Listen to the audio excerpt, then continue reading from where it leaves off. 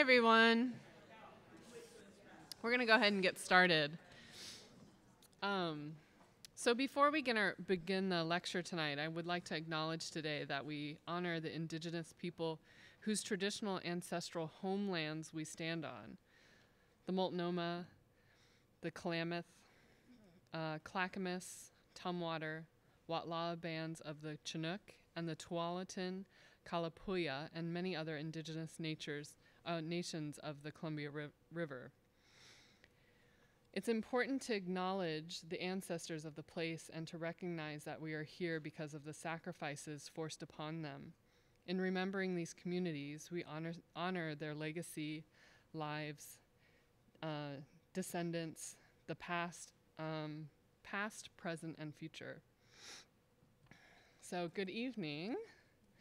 Welcome to PNCA and the Hallie Ford School of Graduate Studies lecture series. I'm Sarah Houston, the program head of the MFA in Applied Craft and Design, and we're happy to have you here tonight. Um, tonight's lecture is sponsored by the uh, Applied Craft and Design program and is part of the Hallie Ford School of Graduate Studies lecture series that happens on Wednesdays at 6.30 here at PNCA. So join us next Wednesday, February 26th for um, CC Moss. So I'm really excited um, to welcome Ania Jaworska for this evening's lecture on her creative practice and work. So, a little bit about Ania. Ania is an architect, designer, and educator. Her practice focuses on exploring the connection between architecture and art, and her work explores bold, simple forms, humor, commentary, and conceptual, historical, and cultural references. She is currently a clinical assistant professor at the University of Illinois at Chicago School of Architecture. She holds a master's degree in architecture from Krakow University of Technology in Poland, as well as the Cranbrook Academy of Art in Michigan. Her work has been presented at the Venice Biennale, Ch- Chicago Architectural Biennale, Lisbon Architectural Triennale, MoMA, Museum of Contemporary Art Chicago, Cranbrook Art Museum, the Graham Foundation, Harvard University's GSD, the Storefront for Architecture and Art, Chamber Gallery, Friedman Benda Gallery, um, and Taiwan Craft Research and Development Institute, among others.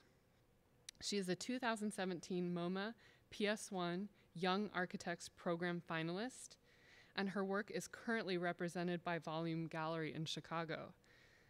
Please help me in giving a very warm welcome to Ania Jaworska.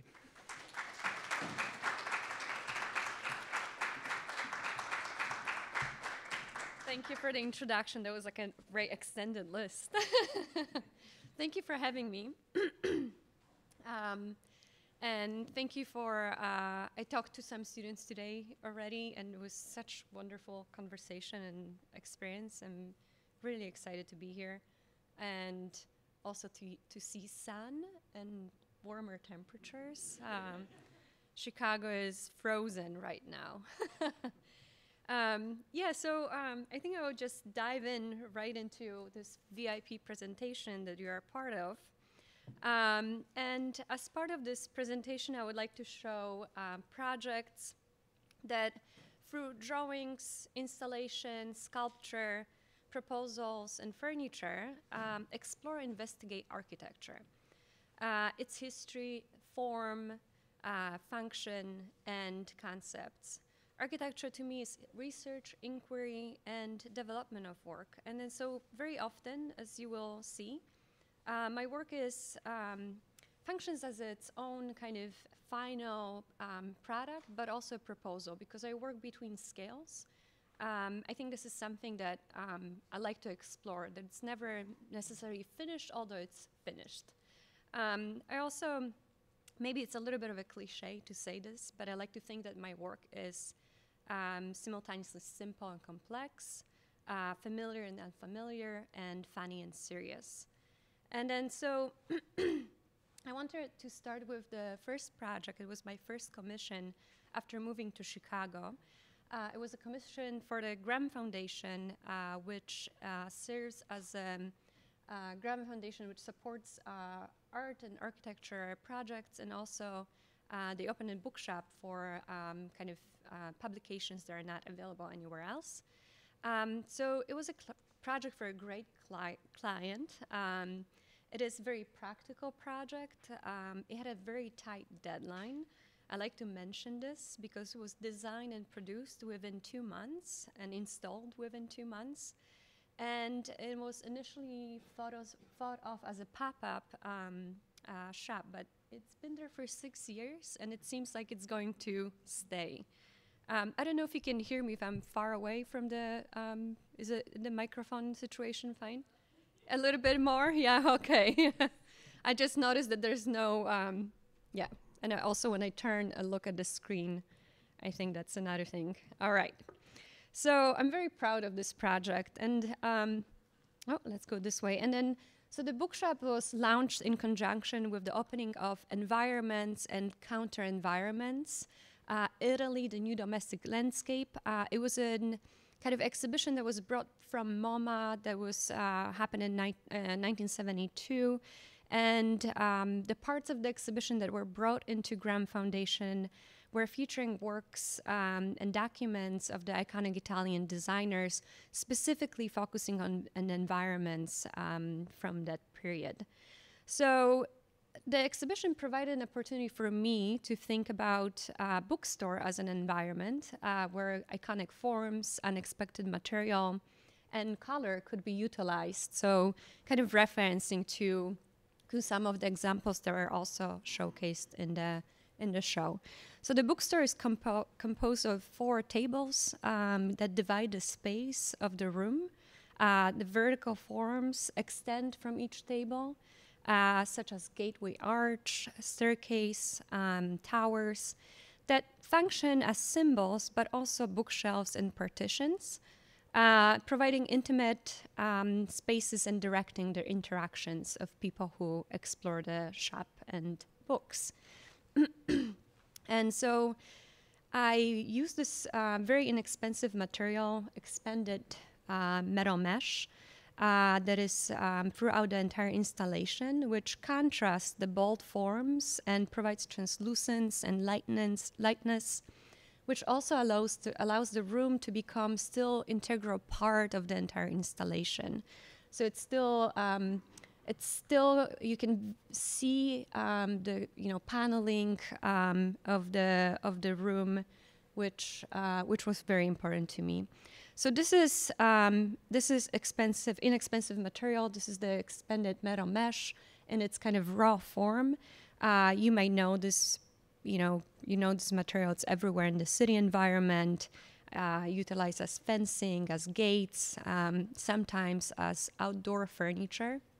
And I was very interested in dramat- dramatically changing the kind of reading of this material through the application of this high gloss but very gentle pale green color um, and making it appear much lighter and softer and allowing for the furniture to become um, a backdrop uh, for the books. So you can see that the sheer effect of the material um, allows for books to populate the, um, the shelves and the horizontal surfaces. And in turn, they also activate the installation. So I was very interested in creating a pattern, but also a pattern through the um, through the books themselves. So the composition, every time the books change, the composition changes, and then the reading of the shop slightly changes as well. And um, I was very interested in that in context also to Italian design. Of course, Memphis, uh, you know, it kind of references the very vivid patterns uh, by Nathalie Du Pasquier. And, um, and also thinking about how the, you know, how, to, how the books kind of interact with the shelving units.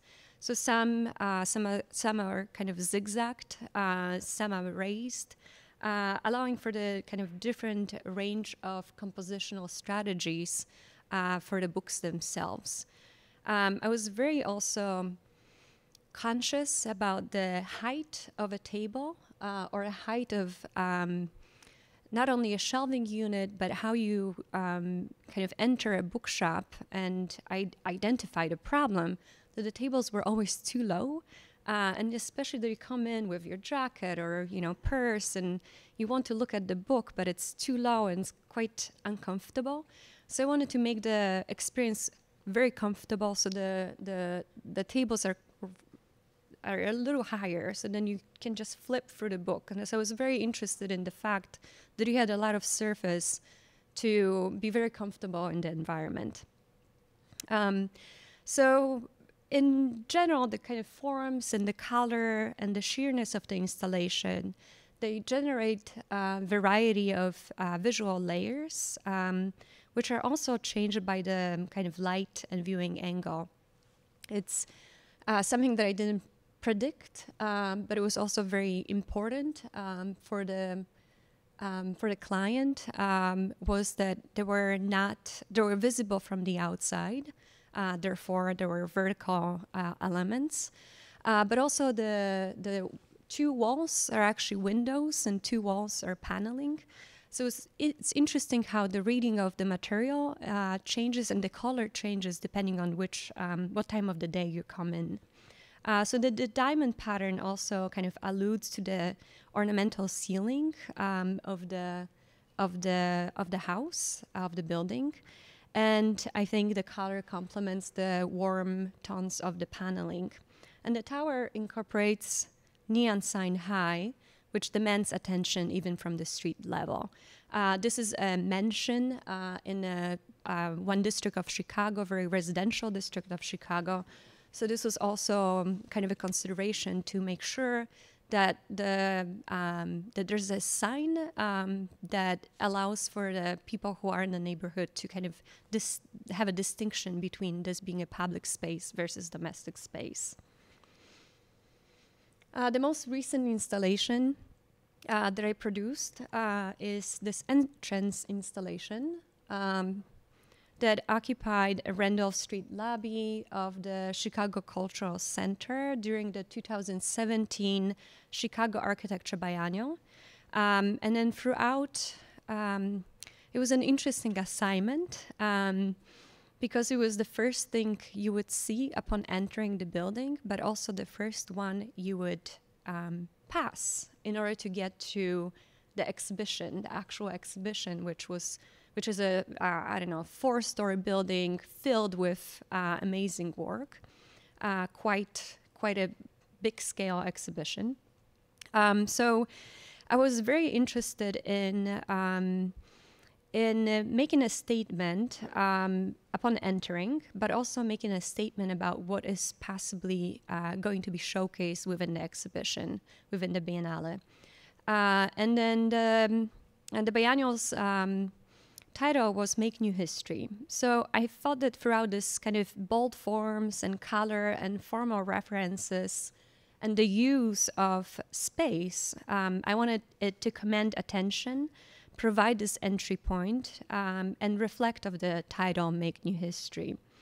So the entrance installation um, kind of entertains multiple readings and maybe contradictory readings. Uh, in many ways, it is furniture and it's not. It is a sculpture, it's a pavilion, but also it's not any of those things.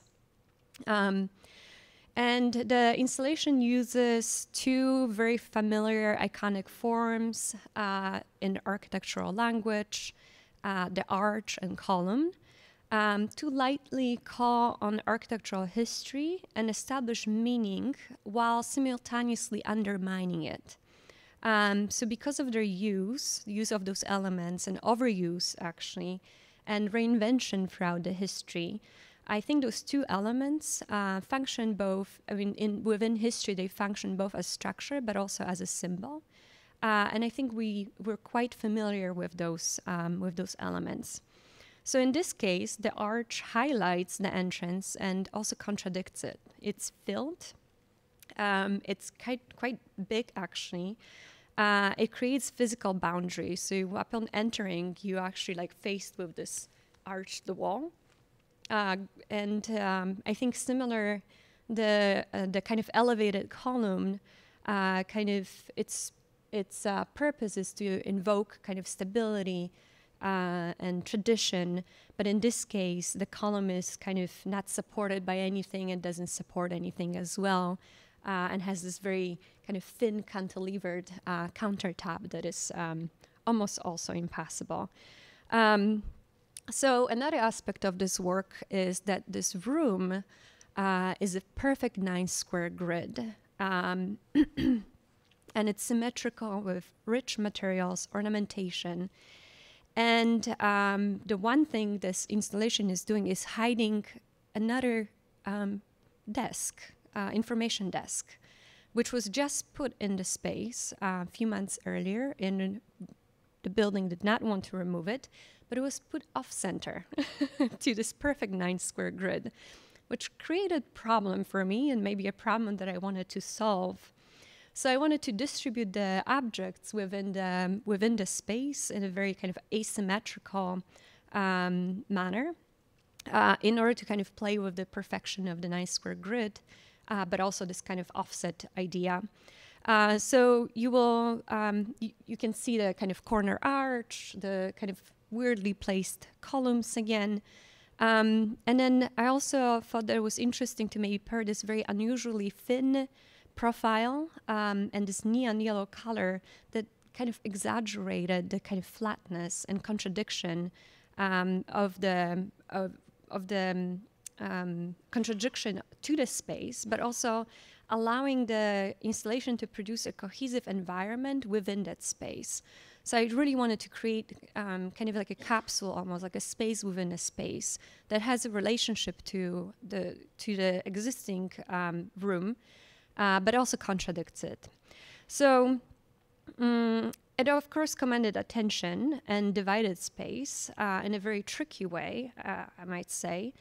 And um, and the neon yellow color is actually the true neon yellow that you see on the signage on the street. It's super intense, um, that was the only color that actually um, could stand against the kind of ornamental, a, a, bit dim. Maybe you can't see that, but like in the next room, you can see it's quite dim uh, lighting. Uh, we didn't have a chance to play with the lighting. Um, so, um, so it also becomes very much so a signage uh, because it is really a color of a sign. Um, and I think even farther kind of flattens the forms and um, even further kind of makes them um, almost paper-like. Uh, it was a few tons of steel, just on a side note. so you can see in here the idea of the column um, uh, and arch as a symbol is also explored in this installation. Uh, this black room is filled with black sculptures, uh, and it was called Cynic Architectures. Um, and it was part of my solo exhibition in the Museum of Contemporary Art in Chicago. Uh, this piece in front is called Gated Area and is composed of the semicircular uh, arch entrance and the horizontal circular boundary uh, traveling throughout uh, the form and in the form of a line and producing kind of ambiguous, um, ambiguous, ambiguous boundary. Um, the two uh, thin columns in the back are titled VIP Lounge. Uh, they are not, they, they do not touch the ceiling, you can see, but they don't. Uh, and they're flat, uh, kind of simplified form of an ionic column and they're supported by bags filled with sand. Um, so, so of course, um, they kind of appear still. I, I, argue they appear appear very stately and uh, important, but they're flimsy and fake. And uh, my argument is that flatness and fakeness do not undermine the status provided by the depicted icon. And um, you know, I think I talked a little bit about it today already with some of you, but um, the architecture of our like, every day is filled with uh, monuments. It's filled with arch entrances, uh, with um, you know mm, pergolas, and even I don't know arched golden arches of McDonald's. Uh, it's it's a symbol that it's really um, repeated for its status. Um, it doesn't matter what size it is. Uh, if it's um, if it's small or big, it always sends a message. It requires it requires an acknowledgement, um, the kind of its prominent form, um, and it also doesn't rely anymore on the material. Uh, so you might probably know that Arch um, was developed because of the material, brick or stone, uh, to support. It was a supportive uh, structural um, structural form, but no longer that is um, part of the conversation. It doesn't have to be part of a conversation because it is still embedded in our memory as this very important um, form. So another aspect of this piece uh, was this horizontal circular line elevated um, on the series of these vertical supports. Uh, so I want to show this image because it's exactly 10 inches above the ground, and uh, which is about this much. This is where I step out. so it is enough to to mark the space, um, enough to produce a boundary, but it's not a challenging boundary. You can easily step over it. Um, so um, it is very much so a psychological boundary. Um, and I was very interested um, about you know how much is necessary uh, to produce a space, uh, to frame the space, um, and then um, how much is enough to keep us in or keep us out. And so it was interesting to see interactions um, of people with the work because um, some people were very aware of the boundary and they would enter through the entry and then leave in the en- with the entry.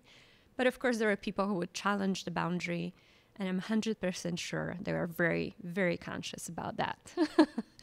um, it was interesting to also kind of work with the space size of the room. I'm quite um, quite aware of dimensions. I've, you know, it's something that comes with um, architectural um, education and practicing uh, and then so it was interesting to also find the exact size of the circle when it doesn't feel too big or too small. So it actually feels like a space.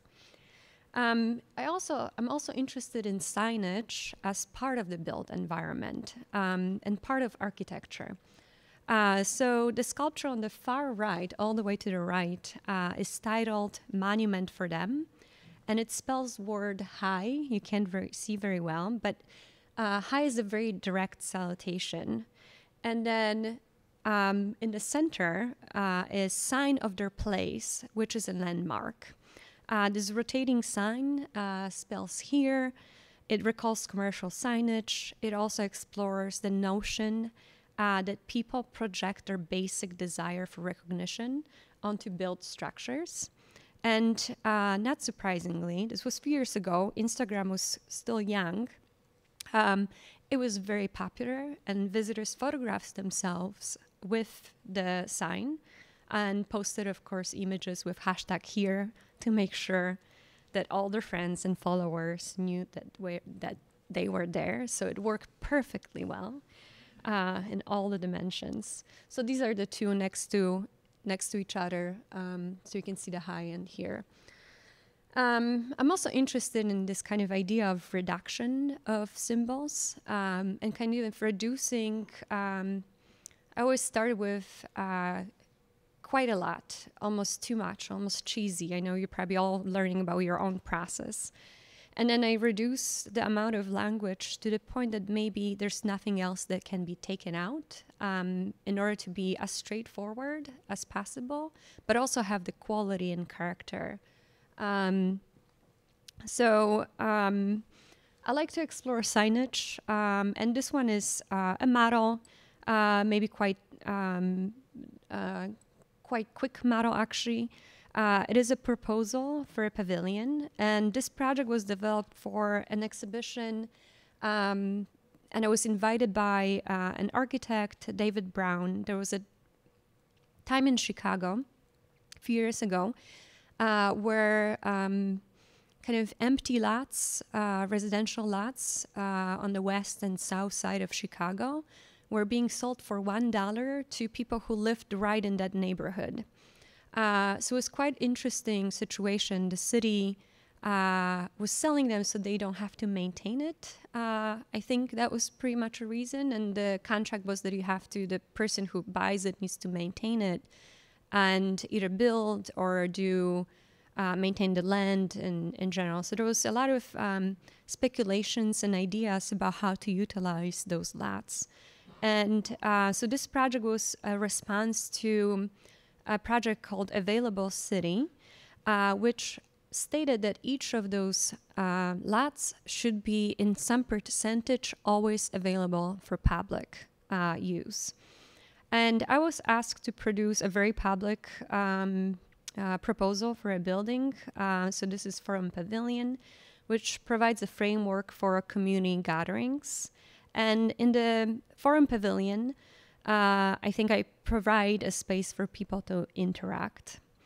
And I've been interested interested in signage as part of this building and wanted to incorporate it. So there are rotating signs. You can imagine that they would rotate uh, of columns, again, portico as kind of symbols of importance, uh, but also an open hand or a hot dog or an ice cream uh, to signify leisure.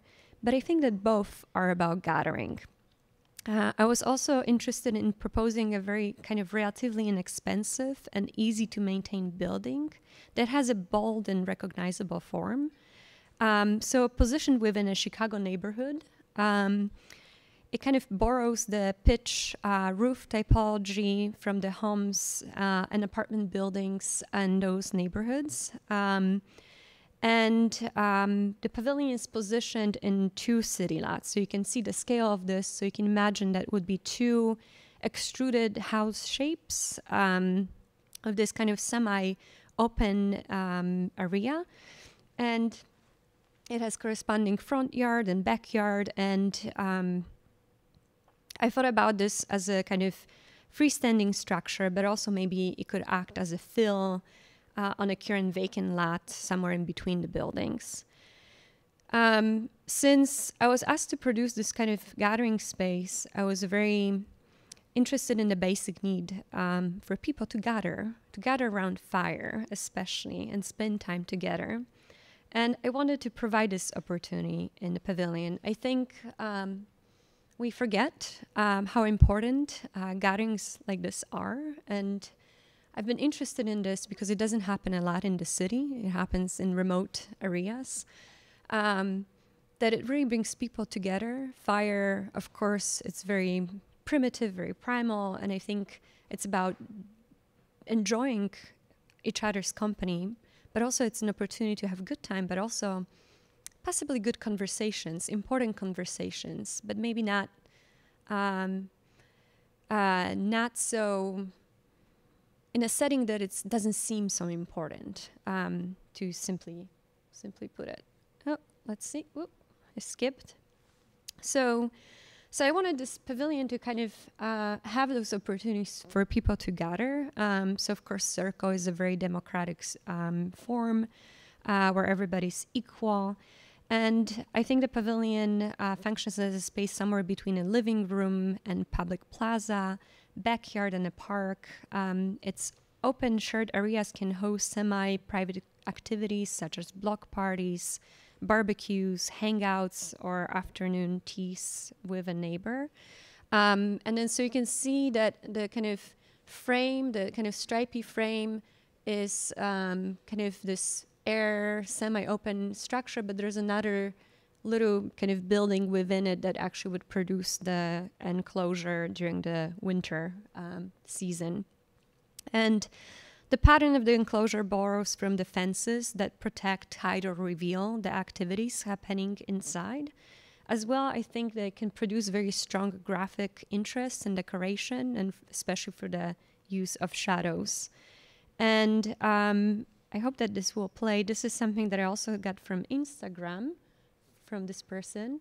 Uh, when it was exhibited in the in the in the show, you can see actually the effect of the enclosure.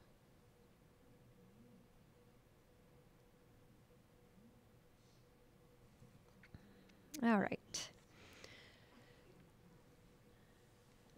So uh, a few years ago, I think it's been three years, um, I was selected as a finalist for a MoMA PS1 Young Architects uh, program. And I don't know if you're familiar with it. This is something that um, it's very known in architecture field.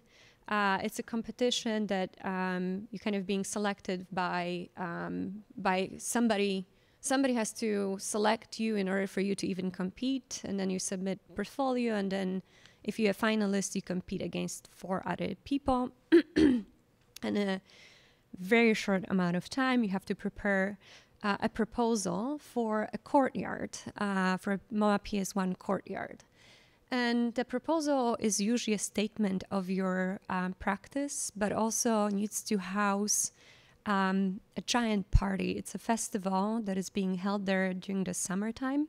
Uh, it's called Warm Up uh, and brings in, I don't know how many people, but that courtyard is completely filled with bodies next to each other.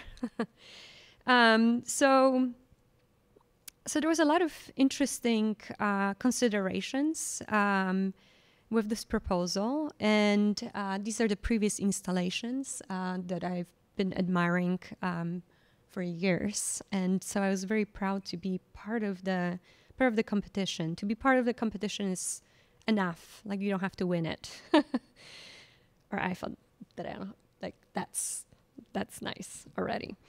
Um, so we proposed. Um, I had a team, um, and we proposed uh, a project that was called "We Are All Here Now." And the title is the acknowledgement of togetherness and presence. So you can see that it's kind of uh, maybe a tying thread in my work. Um, it is uh, so the project consisted of series of iconic pavilions that established unique social spaces and like the gate uh, on the left top, um, plaza on the right side, uh, circle, and haha pavilion. And so on you can see that on the right side this was kind of, this is the entry point. You enter from this you know from this point of a triangle. And um, so this one the the entry point displays the title and then mists the audience audience kind of initiating them into the experience. Um, and the plaza offers uh, space for gathering and variety of uses Circular structure uh, marks and defines a space and frames the participants. Actually, what is interesting and maybe awkward is that the stage is on top of the staircase in there, so not everybody can actually see it. So we're also thinking about how to maybe produce spaces for people to hang out, even if they can actually see the act. Um, and the circle is actually this kind of in between space. That's where would people uh, gather. Um, so, um, so each structure uh, utilizes this kind of shared understanding of common architectural and cultural elements and reconfigures them uh, in order to offer a kind of new understanding and new experiences. Uh, so the plaza, um, uh, there was kind of one of the um, one of the things was incorporating water, so it has really this um, kind of cooling pool in this contrasting blue. Uh, the dark deep blue color is used throughout the project, um, which kind of serves several functions. It unifies the individual pavilions as a whole, uh, provides an intensive and kind of somewhat surreal visual experience.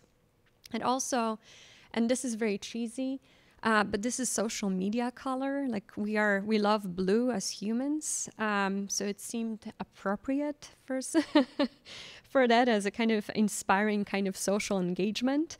Um, and then um, also um, had another function. Um, we proposed um, kind of separate structures uh, for the for the plaza in order to uh, deinstall them or install them there and then deinstall them later on in different contexts. So we had um, approved um, uh, placement of the pavilions in Chicago and Detroit.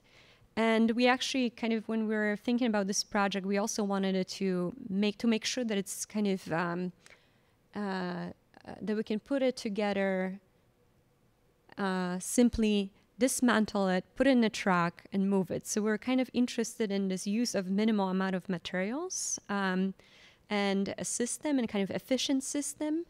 Uh, so it can produce that for us. Um, it was really part of this kind of idea of maybe, um, uh, and I think so. Then the blue as well was the kind of moment when even if they were separated, they would still stand on their own and would still clearly signify present within presence within uh, another another um, context.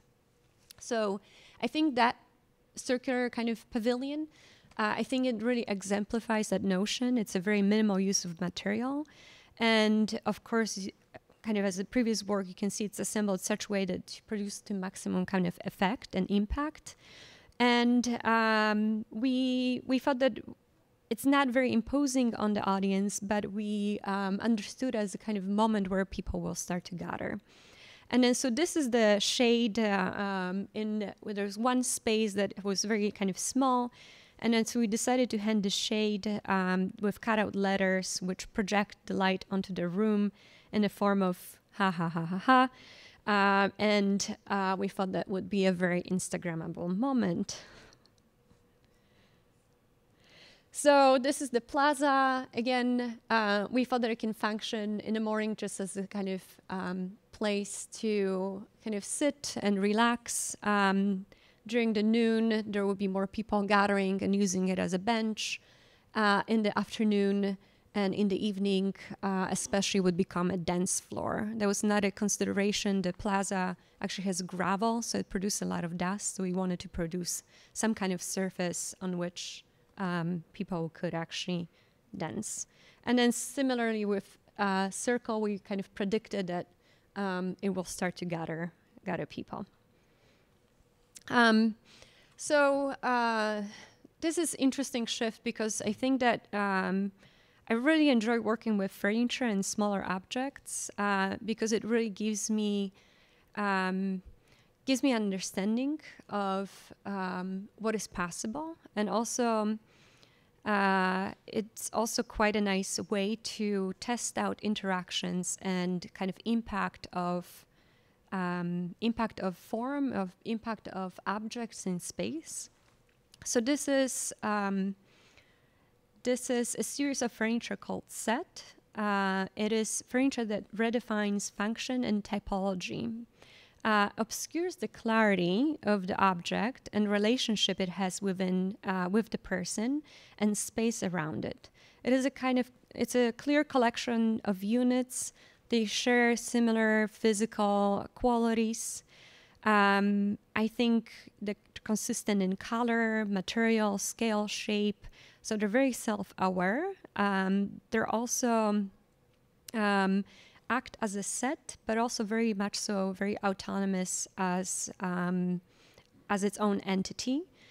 And um, I think that they do appear kind of familiar as furniture, but also um, maybe removed in some way. Uh, they're very shiny, very hard. Uh, they seem sculptural and possibly um, precious uh, and powerful. And um, and also, I think there are some elements that maybe bring some references in our kind of from our memory. So they're kind of uh, the forms are exaggerated uh, in such way as to kind of achieve this very authoritative um, and imposing propor- proportions. So I was interesting that the, the it really is a set uh, for kind of play almost uh, a set for a person and set for objects. So in example uh, these two uh, are coffee tables. Um, they don't have a horizontal tap surface.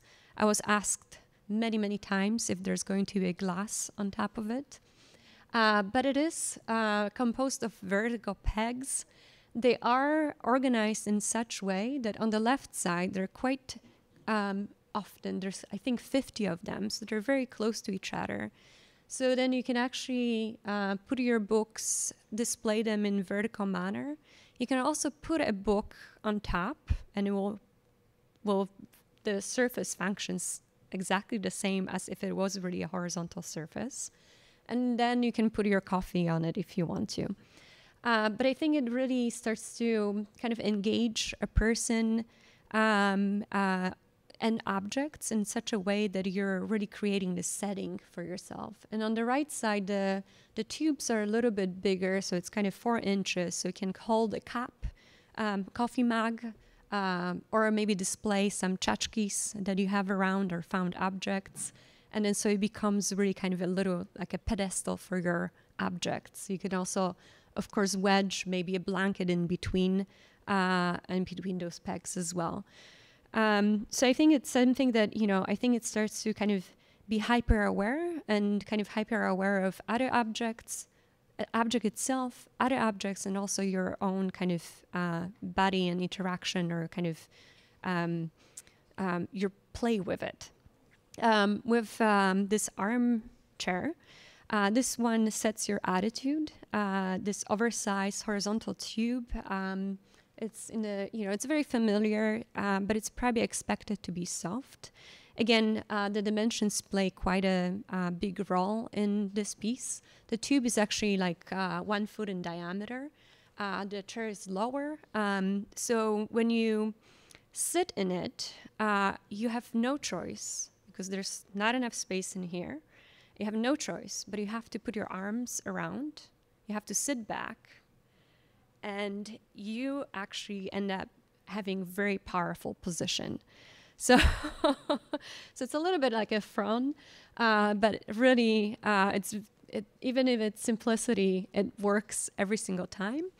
Uh, you're also very aware of the shininess of the of the object and the kind of hard surface. Even though maybe seems uncomfortable, it is actually comfortable enough to sit there for some time, maybe not full day. Um, but I think you're you're quite removed from the space around you as well by the kind of uh, size of it. So it kind of functions in in this very uh, very specific way. And then on the right side, you can see there's a cushion to, of course, negotiate a comfort level.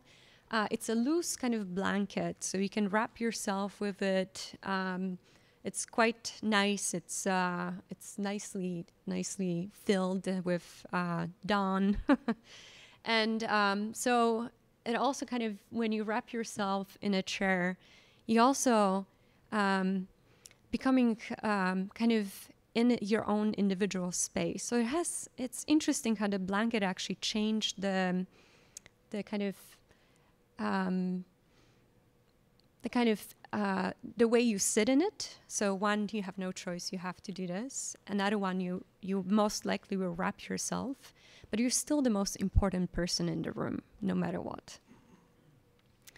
Uh, and I like to talk about this example. I wish I took photos with, uh, or kind of took photos that maybe recreate some of the some of the actions that would happen. Um, I like this one because it's very nuanced, um, almost nothing uh, but it's a table, regular size table for four people, except that it has this very oversized legs on their sides. And also, it's very narrow. Um, so, when you uh, sit across from each other, you have only enough space for two plates. You don't have space for additional um, stuff that usually goes in the middle of the table, like, you know, additional dishes or flowers. So you have to push everything to the side. So then the side's now becoming usable for your objects, not for people necessarily. And then you have no, you're forced to look at the other people very closely. So again, it's producing a bit of a tension. Uh, and also very slightly alters the kind of typical use and typology of the of the table. Um, and this is again the installation shot. Uh, this is a credenza, um, which um, is composed out of these two cylinders. It's on a podium.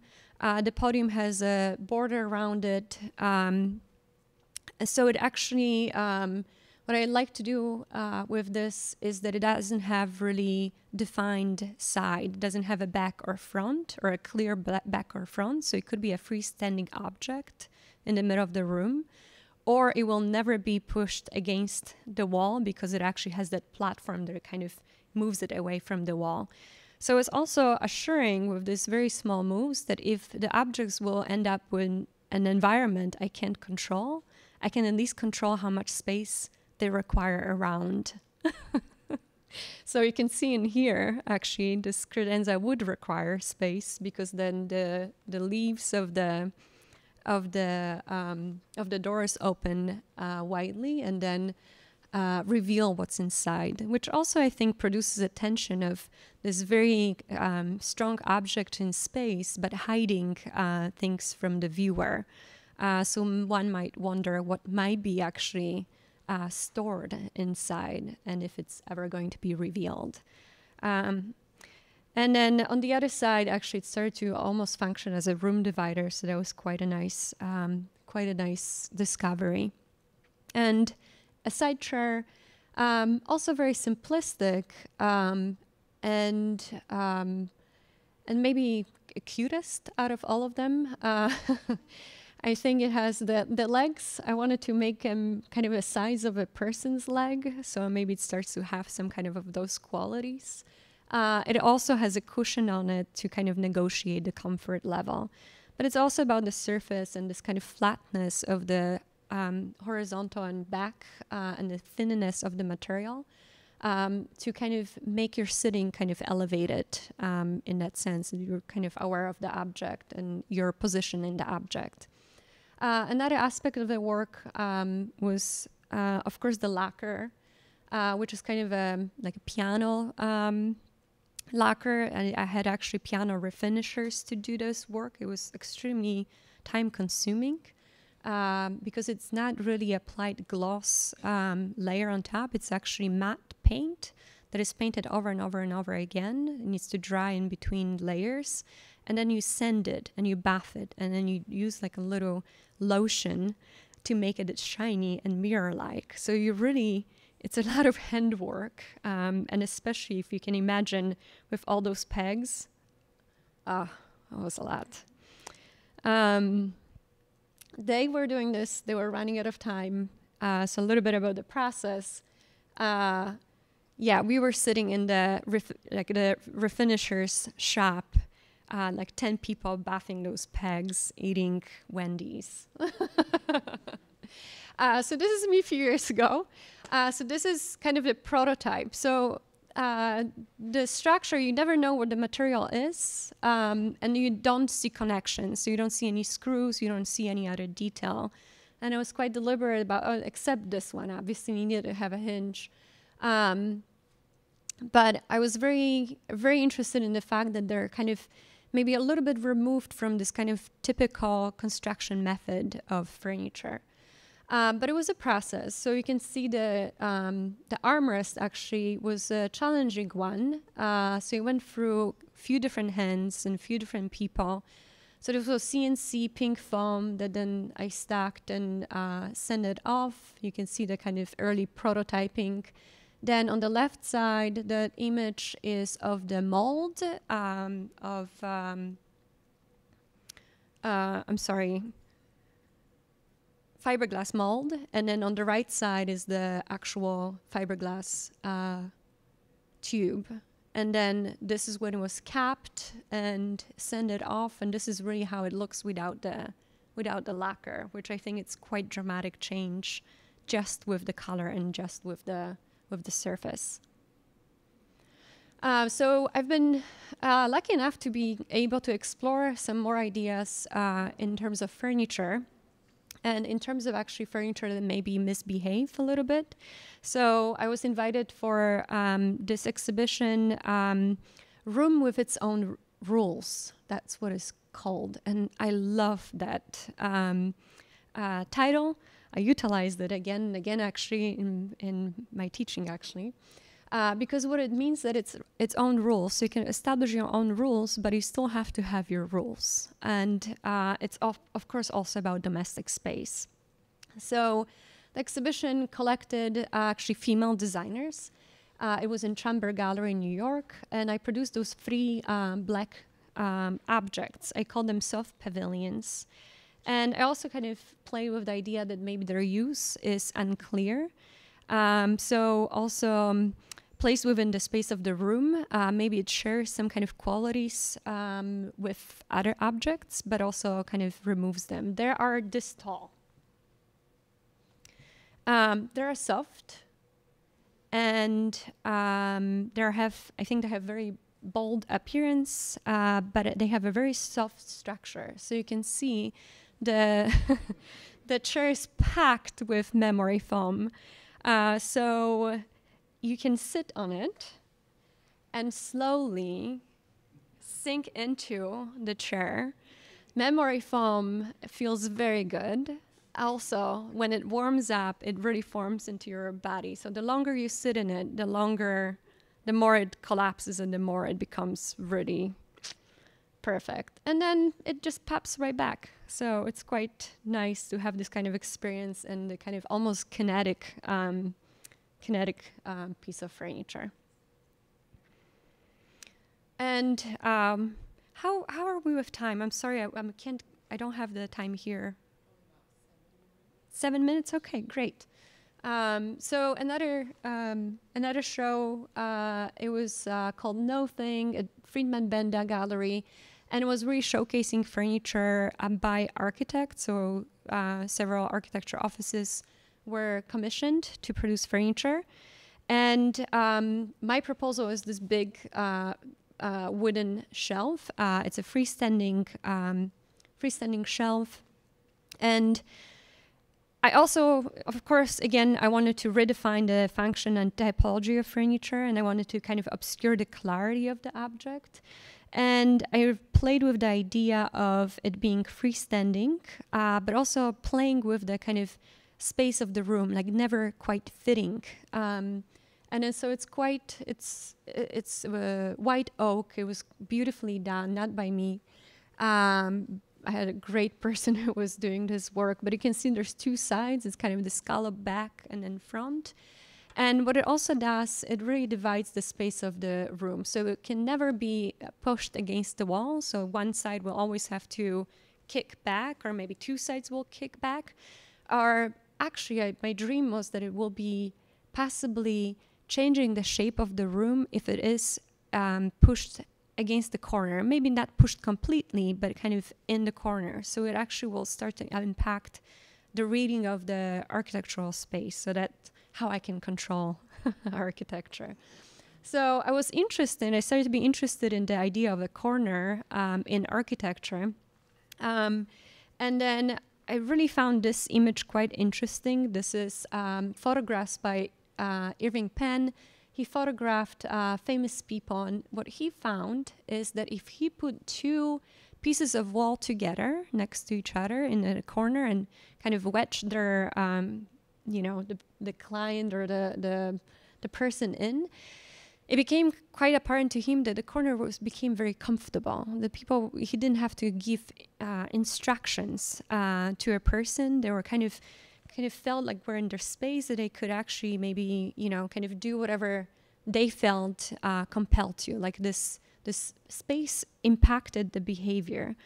Um, so of course um, some of those kind of thoughts are coming too from uh, work of robert morris um, as you know of course um, uh, from this corner piece that is uh, also changing our perception of the corner and uh, in this case of course of art and then, Dan Flavin uh, which who positions the light onto the corner but also not making the corner available. It's gated right? So it's kind of this lidded beautiful space but then we're not part of it but we see it so I think um, this is something that I'm researching, and I'm also researching this in my teaching.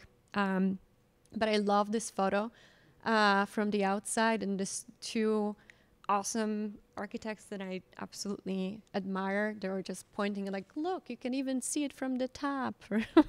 so I wanted to show off. All right.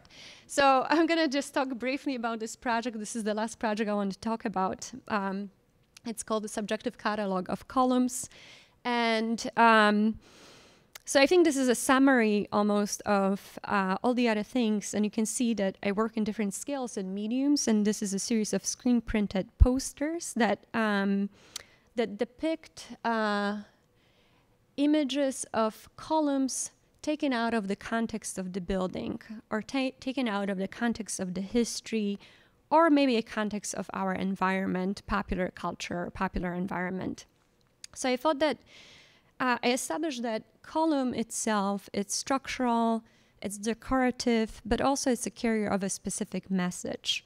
And um, and I think that um, we're all familiar with um, Greek uh, columns, and they've been present in our Western culture for ages, and they always represent, depending, of course, of the context and use, status, stability, knowledge, um, or taste.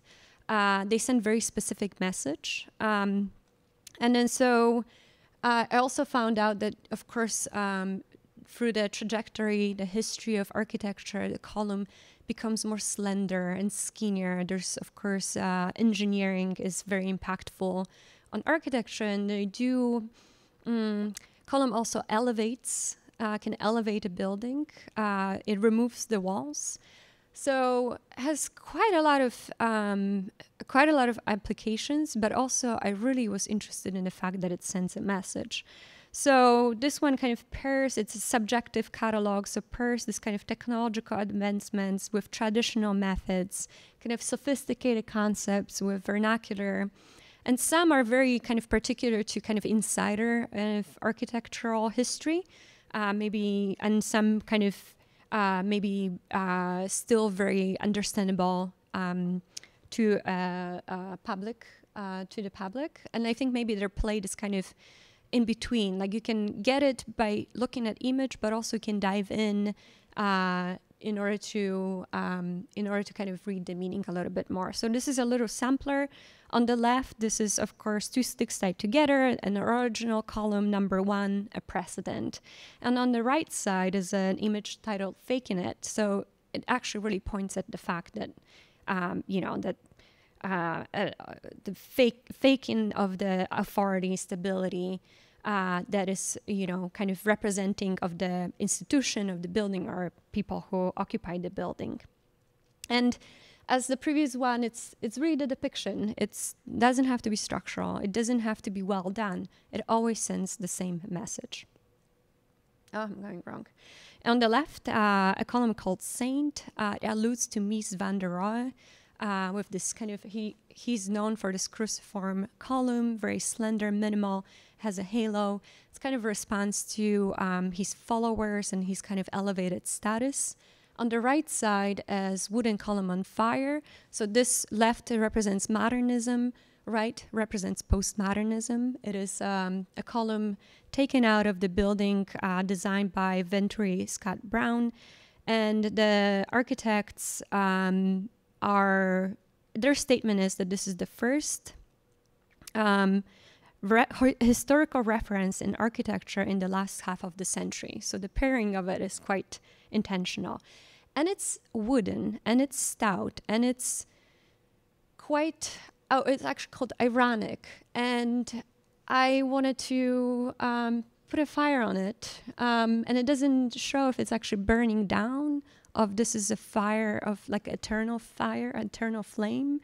Uh, it's also paired with the title of the popular song um, we didn't start the fire; it was always burning. Um, so I think it has kind of this kind of idea of uh, postmodernism in architecture is this kind of unresolved issue, maybe still, and there are kind of people who uh, are very opposed to it or maybe really into it. And of course, at the time, um, the kind of modernism, postmodernism, and Chicago context um, and would have to go into a huge story right now. and I think that was kind of, that, these were two examples very specifically chosen to kind of comment on this. But there's also some kind of lighter, um, maybe references. So this is a column that does not touch the ground. It actually produces a shadow on the ground, and the shadow spells ha ha ha ha ha. It's called whoops. And uh, it references some of the gestures that maybe are um, uh, familiar to some of us and um, present throughout the history of architecture. Uh, so this is also another topic. Um, here also the 90s slanted, slender, colorful columns. Um, this is um, this column and beam structure is um, spelling wow, but this is actually derived uh, from the proposal on the right side. So your left side, you can see the 90s from the right side of this amazing idea uh, by um, Greg Lynn uh, for the structural system that by this kind of weaving and overlapping and intersecting, you can actually produce structural system that really challenges the form of the column and beam. Uh, so this is this kind of wow idea represented in that poster. And some of my uh, projections on the left is the future. Uh, on the right side is the future is informed by the past. So it's kind of like the Solomonic column, kind of 80s maybe take on it. They're both are impassable yet, um, but we'll get there. And um, there are also some instances I was quite, I didn't know what to do about rep- misrepresentation of women um, in architecture in, in any field. Um, so I decided to kind of produce this uh, woman-like, a very kind of cliche um, form of a column, um, and it's called "It's Not Easy." And I think this one, it's kind of commenting on the past, but also I think it's helpful. Uh, I think the field, especially architecture field, was pretty responding to that it's becoming more inclusive. It's less about the kind of elevated icons, um, and it's about kind of individual expression. And I think um, probably a lot of practices right now are and fields are like that. And all of them, they kind of found its way um, into this structure very loosely. Uh, referencing Parthenon, uh, so all those columns, contradicting columns under one roof, that really offer both praise and critique kind of making equal the varied conditions and um, and kind of maybe also uh, starting a conversation and talking about the value um, or per- perceived value. And just to finish, this is my dream project that I wish to continue. Um, I learned that the column, of course, is not only in the building, but also, of course, in the logos of different companies. So this kind of selection of logos that I found and some of the subtitles that are applied to it. Um, and then so displaying a solid foundation, this is University of Illinois, and that's an I, that is one ionic column with an I. Uh, the very strange one. So uh, uh, the the kind of L there, it was like learner um, law office. so it's like an L. And then on the right was the strangest one. It was a dentist um, for the office. So it's super top, you know, top service. Best. Yeah. Thank you.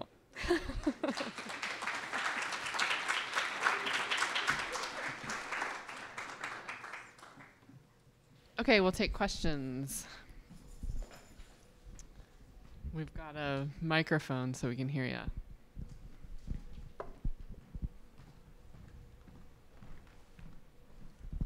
Hi.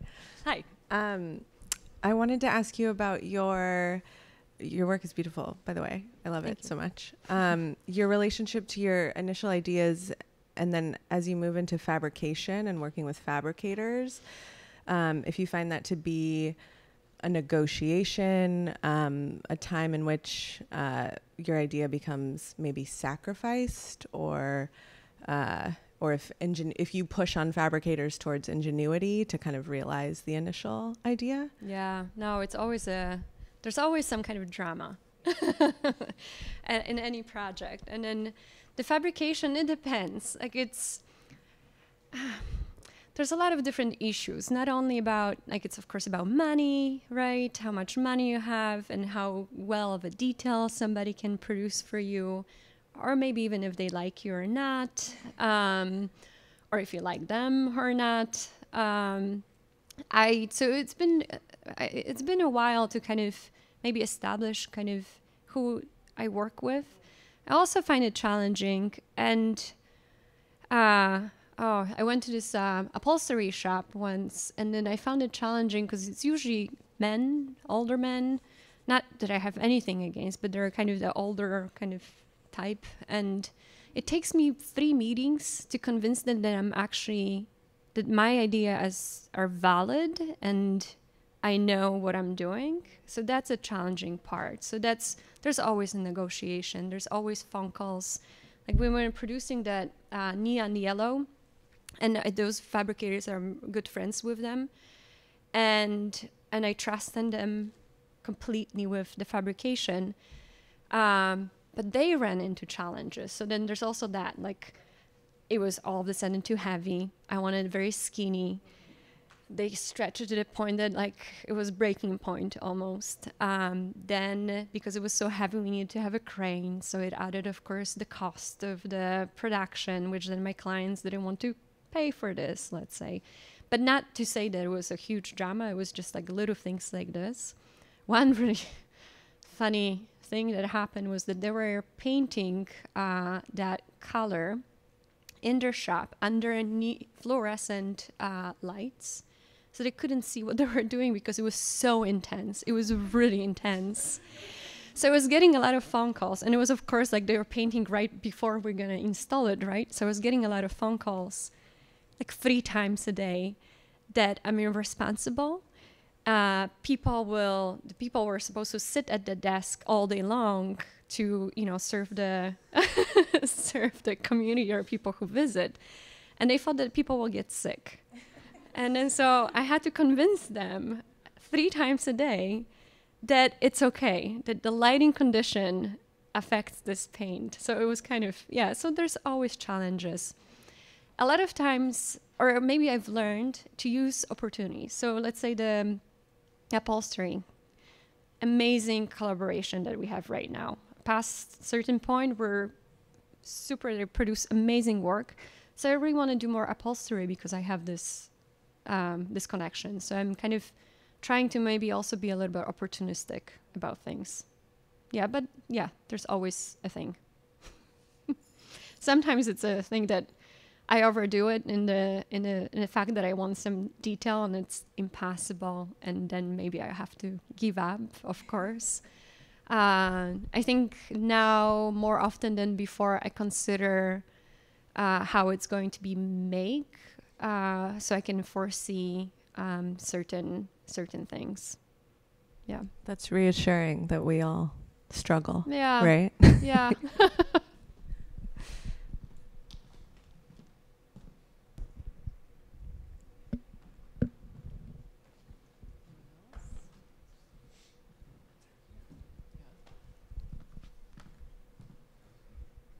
Oh, the the bookshop was actually welded by a team of super amazing people, and then um, the most detailed person uh, was actually a woman who who welded too. It was kind of nice to have that. I don't have anything anything against guys, uh, really. I don't. Uh, but it's just nice. Um, nice to to see diversity um, about your uh, Mhm. black furniture pieces. Mhm. You were talking about the table and the experience that the user would experience with their with their Mhm. body. Um, but I didn't. Do those chairs function with that table? No, they don't. That- Mm. And so you would sit at that table with a chair that doesn't. Some other chairs. I Oh, don't know no. which chairs. yeah.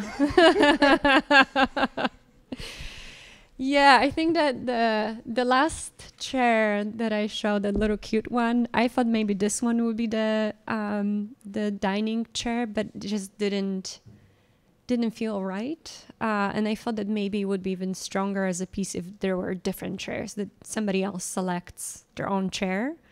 Um, yeah, but yeah, I think that, um, yeah, I, this is my kind of dream that I didn't do, like kind of photograph it in a kind of domestic environment and kind of maybe uh, stage some kind of very, mm, very kind of over over the top kind of you know images of this kind of certain dinner that people have. I also see some of those things being like a talk show, like especially the the big one, a talk show kind of chair that everybody's just you know, quite confident. I have a question. Um, what do you have projects that are upcoming or that you're working on? Yeah, I do. I do have a few projects. I'm actually in, like, like in between deadlines. Um, but maybe like I can tie into those two questions actually about fabrication and the upcoming project. I will have another series of furniture uh, for Volume Gallery, so the same uh, gallery that the black furniture was made for. And um, it is furniture that is uh, about brick. And then it's been a challenge to how to represent brick. So it's a it's kind of like combining furniture and then screen printing together because it's kind of an image of a brick. And i found that it's brick has been you know explored as a as a graphic quite widely. So it's in simultaneously exploration of brick as a as a building block and maybe also part of architecture chicago is built out of brick there's a chicago common brick uh, it's present everywhere. I mean, it's 99% of the city, and um, yeah. So so yeah. So this is something that I'm working on, and it's been quite challenging in terms of fabrication, but not necessarily because of a let's say fabricator, but because it's a really challenging project. So I had to. I'm still waiting for results on Friday. I will see if it's gonna work out. to be very honest, it will. So it's going to open in May. Um, so I think everything is needs to be in production uh, starting on Monday, practically. Yeah. Uh, there are some other projects too. Um, mm, I, don't- oh, hmm. I signed some forms, and I now I don't know if I can talk about it. so I won't. I can tell you like after. oh, I have it. Oh, yeah, yeah. Okay, one more. Uh, necklace. I'm designing a necklace, which is the most challenging thing for me to do. I've learned how to deal with space um, and the, the range of scales, but the scale of a body is uh, something that is quite challenging. Um, so I think I always come from this kind of thinking of architecture, even though I'm working with an image or working with furniture, some principles that are I'm kind of you know interested in, and then so um, I was invited to come for this amazing trip to Taiwan. I went there twice, and they uh, because of lacquer, it's going to be uh, um, jewelry made out of lacquer, um, and but their lacquer it's next level of time precision. it's amazing. Uh, but I also they also wanted to expression of um, Taiwanese culture, and it's kind of you know interesting how to kind of negotiate that with your own work. Um, so the necklace will consist of this very like big black piece, also very powerful. I think I'm trying to maybe give a power to a person. But on the back, you will have LED lights, kind of that you find in Asia a lot. yeah. Yeah. Um, I was wondering about the works that you created, like the set and then the white oak bookshelf. Mhm. Um, do you produce those with the intention of just strictly making the one set for the gallery, or do you intend to like replicate that if people are interested in purchasing? I intend to replicate. So the set, um, it's usually established by a gallery how many pieces. They're obviously for a gallery, you know, there's very specific client. Uh, it's not mass production, but it's series of um, I don't know, just few, maybe three or four edition. Um, and maybe also fabrication. It's also now I know like if I wanted to reproduce that, I did it at certain um, in, within a certain time, within a certain budget. Now it's much more difficult if I wanted to do one off, let's say, uh, or one next one. Um, so it's uh, it's almost it's the same amount of work, and we've done with the gallery we've done projects that were um, kind of um, custom pieces that were kind of from that show, but not exactly the same pieces, um, other pieces. and every piece was a, was an interesting challenge. And I think uh, with this next show, I'm actually also thinking about how to maybe replicate things. It's also it's logistics because you need to do it within six weeks, and then you need to line up your fabricators, uh, and especially if it's done by different people, it's kind of a logistical situation. Yeah. All like once I would love to, but. Yeah, yeah. I think that's actually an excellent thing. Usually, mm, I would love to do that, and I would love to have an opportunity to do it and have them on hand, or even just you know, kind of venture into mass production. I think it was it would be a dream if I had an opportunity. Yeah. Great. Thank you so much, Mhm. Ania. Thank you.